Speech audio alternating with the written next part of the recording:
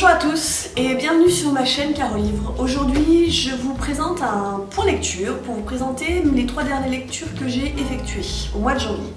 Alors, je vais vous présenter euh, du récit de vie, de la fantaisie et du contemporain jeunesse. Je vais commencer par un coup de cœur que j'ai lu donc euh, ce mois-ci qui m'a pris un petit peu de temps parce que c'est une bonne bricasse.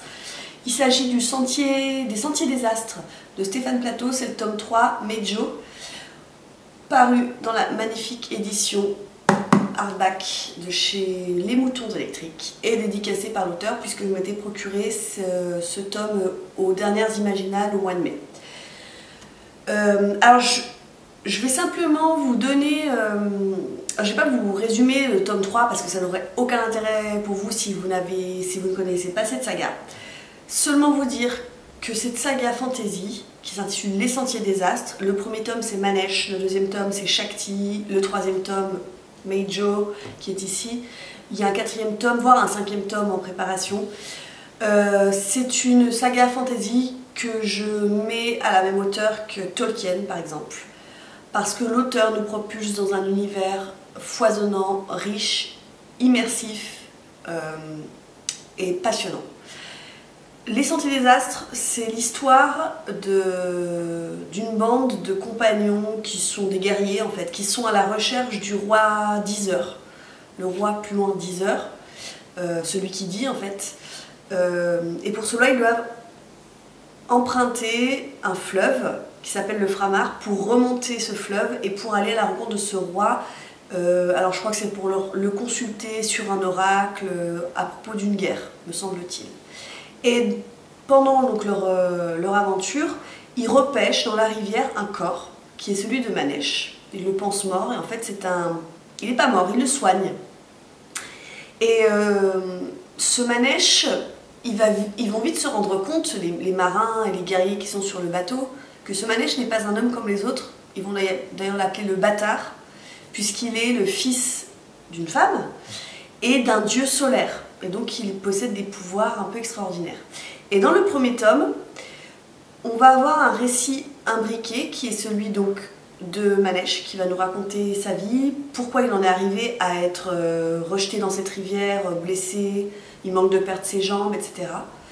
Et puis on va avoir toutes les aventures de, donc de ces guerriers qui remontent le Framar, ce fleuve légendaire, euh, et qui vont d'ailleurs être poursuivis par les redoutables Nendu, qui sont une tribu adverse, euh, mais qui, je vous assure, quand vous lisez les, pages, ça se passe dans la forêt, on entend euh, les tambours au loin qui résonnent, on entend les cris de cette tribu des Nendu, mais ça vous fiche la trouille, c'est incroyable. Donc dans le premier tome est plutôt concentré sur le personnage de Manesh.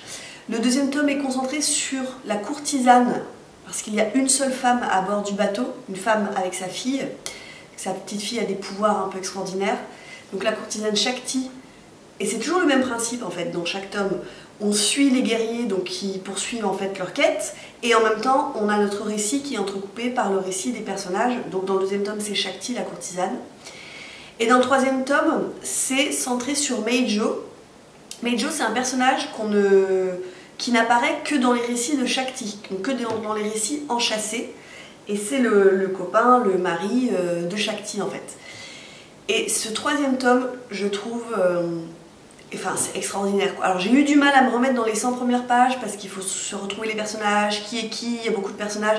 Quoique l'auteur, en début d'œuvre, nous dit, euh, nous résume en fait, voilà, il nous remet un glossaire avec qui sont les personnages, quel rôle ils ont, etc. Mais je vous assure, quand vous commencez, c'est tellement immersif, vous êtes tellement dans l'ambiance. Euh, et pareil, là, il y a un moment donné, il y a un combat contre une déesse euh, Nendu. Oh, j'ai eu peur, mais euh, des peurs qui sont... Stéphane Plateau, en fait, je trouve qu'il parle à notre, notre, notre, part intime. il joue sur des peurs enfantines, du bruit dans, dans la forêt, le noir. Euh, des personnages, des créatures monstrueux euh, tels qu'on se les imagine quand on est petit et ça marche vraiment bien. Alors c'est très immersif. Si vous commencez la fantasy, je vous conseillerais quand même peut-être pas cette saga parce que ça peut être compliqué à lire. Euh, quand on est dedans, il faut vraiment être immergé dans l'histoire. Mais c'est tellement bien écrit. que je ne peux que vous conseiller cette saga de fantasy. Si vous aimez la fantasy, c'est formidable. Euh, à savoir que les premiers et deuxième tomes existent en poche, puisque moi je les ai, euh, je crois que c'est euh, chez J'ai lu qui sont parus. Donc vous n'êtes pas obligé d'acheter les, les gros livres qui coûtent un peu cher. Donc ça c'était mon coup de cœur du, mois, des dernières semaines. Du coup j'ai voulu couper un peu cette atmosphère fantasy dans laquelle j'étais tellement bien pourtant. Et j'ai lu L'aube sera grandiose de Anne Bondou aux éditions Gallimard Jeunesse. Alors j'ai bien aimé. Franchement, c'est une histoire, euh, une chouette histoire. Euh, en fait, c'est euh, Titania qui va prendre sa fille à la sortie du lycée, qui s'appelle Nine. Elle l'emmène dans une cabane dont elle ne lui a jamais parlé, perdue au milieu de nulle part. Et en une nuit, elle va lui raconter bah, sa vie, son passé, parce qu'en fait, Titania a menti à sa fille euh, sur ses origines, notamment sur sa propre mère, euh, sur le fait qu'elle a deux frères, sur le père de Nine, etc. Et en fait, elle décide de tout lui déballer, de tout lui raconter, parce qu'il s'est passé quelque chose le matin. Elle a lu quelque chose dans le journal qui déclenche le fait qu'il n'y a plus de secrets de famille qui tiennent. Et donc, elle, va nous raconter son enfance dans les années 70. Euh, avec une mère qui s'appelle Rosemée, qui est à la fois attendrissante mais à la fois exaspérante, euh, on est vraiment bien dans l'ambiance des années 70. Je trouve que l'auteur, elle, arrive bien à raconter euh, toute cette ambiance euh, post-libération sexuelle. Donc ça, c'est assez bien fichu. Et puis, bah, ce secret de famille qui pèse sur les épaules de Titania depuis des années et des années, qu'elle peut enfin révéler à sa fille. C'est vraiment sympa comme lecture. alors moi, il m'a manqué quand même un petit peu d'émotion. J'ai pas été, voilà j'ai lu beaucoup d'articles, de, critiques, on disait oui, on est ému, etc. Oui, on est ému, mais pas aux larmes. Et on rit pas non plus euh, jusqu'à s'en décrocher la mâchoire, faut pas exagérer. C'est une belle histoire. Si vous aimez les secrets de famille, ce livre est fait pour vous. Il est court, c'est rapide, euh, ça peut très bien marcher aussi pour les ados. Voilà, jolie petite histoire. Euh, je suis contente de l'avoir lu, de l'avoir découvert.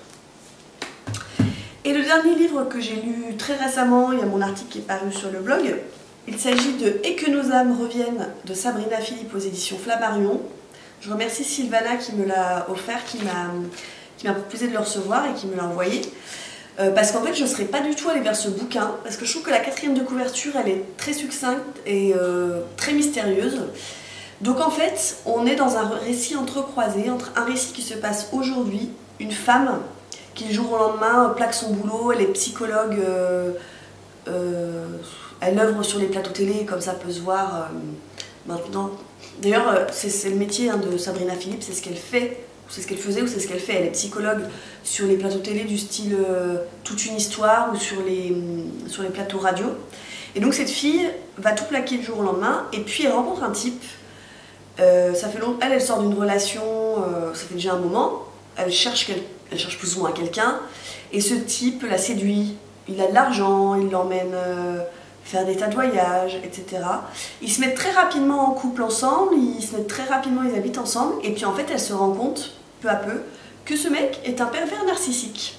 Et donc en fait, euh, l'auteur parvient à montrer tous les mécanismes, tout l'engrenage qui fait que peu à peu, bah, on tombe dans les griffes d'un individu tel qu'un pervers narcissique, donc un manipulateur, qui va couper notre narratrice. Euh, de tous ces liens, que ce soit les liens professionnels, les liens familiaux, les, liens amicaux, etc. Et c'est comment est-ce que la narratrice bah, tombe dans ce piège et va réussir petit à petit à s'en extraire. C'est assez intéressant, ça m'a bien plu, même si parfois on tombe un peu, je trouve, dans le jargon euh, psychologique, parce que bah, forcément l'auteur elle est psychologue, donc euh, j'ai envie de dire que le naturel reprend le, le dessus, revient au galop, mais ça m'a pas gêné outre mesure. Je vous ai dit euh, au début qu'il y avait deux récits entrecroisés, puisque parfois on est euh, amené euh, en 1943-44 à Nice, du côté de Nice, auprès d'une jeune femme qui va être arrêtée par la Gestapo et elle va être déportée à Auschwitz parce que bah, est juive, elle est, elle est juive d'origine polonaise. Et au départ, on ne voit pas très bien pourquoi on a deux récits entrecroisés, un qui se passe aujourd'hui avec un pervers narcissique et un qui se passe en 43-44 avec une juive polonaise à Nice. Et puis petit à petit, ça fait son bonhomme de chemin. Alors moi j'avais fait des hypothèses, mais je m'étais complètement plantée. Et euh, Sabrina Philippe, à la fin du bouquin, vraiment vraiment euh, dans le dernier quart du livre, elle nous emmène sur une voie, je dirais pas ésotérique, mais quelque chose à laquelle j'avais pas vraiment pensé. Ça m'a pas forcément emballé, moi, parce que euh, c'est pas un truc qui me, qui, me plaît ou qui m'a convaincu énormément, mais pourquoi pas et ça glisse vers ce chemin-là. Je peux pas trop vous en dire parce que sinon ça va vous spoiler, vous spoiler et ça va pas être sympa pour vous si vous lisez le bouquin. Mais euh, moi, ce que je retiens, c'est ce livre, il est hyper intéressant du point de vue du récit, de comment en fait on tombe sous la coupe d'un pervers narcissique. J'ai trouvé ça très bien fait. Euh, et puis je trouve que Sabrina Philippe, elle possède une plume qui est très poétique, mine de rien. Euh, et ça m'a bien plu. Voilà, donc je suis contente d'avoir découvert ce, bouquin vers lequel je ne serais, je pense, jamais aller. C'en est tout pour ce point lecture. J'espère que je vous ai donné envie de lire euh, certains bouquins. N'hésitez pas à me dire en commentaire euh, bah, si euh, je vous ai donné envie de lire des livres, si ça vous dit, si vous en avez lu vous, ce que vous en avez pensé. Et puis voilà, n'hésitez pas à me laisser des commentaires parce que ça me fait toujours plaisir. En tout cas, je vous remercie de me suivre, d'être de plus en plus nombreux à me suivre, ça fait vraiment chaud au cœur. Je vous souhaite de très belles lectures et puis je vous dis à très bientôt sur ma chaîne. Ciao